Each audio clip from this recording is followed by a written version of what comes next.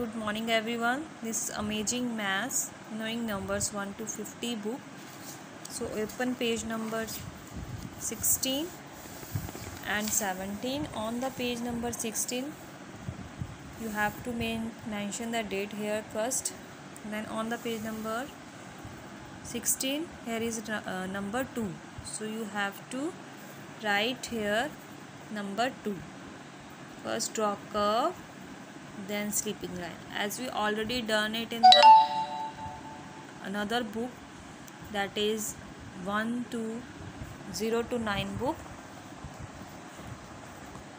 This book so you have to practice these numbers in this book also that is 1 to 50 so you have to trace or write the number 2 on the page number 16 and 17 here so you have to see there how many eyes are here? Two.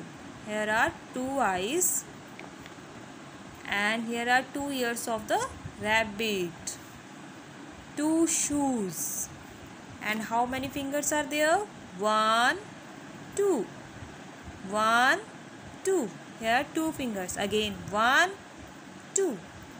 One finger then two finger. So you have to learn and write the number 2 on the page number 16 and 17 this is the homework for today. Thank you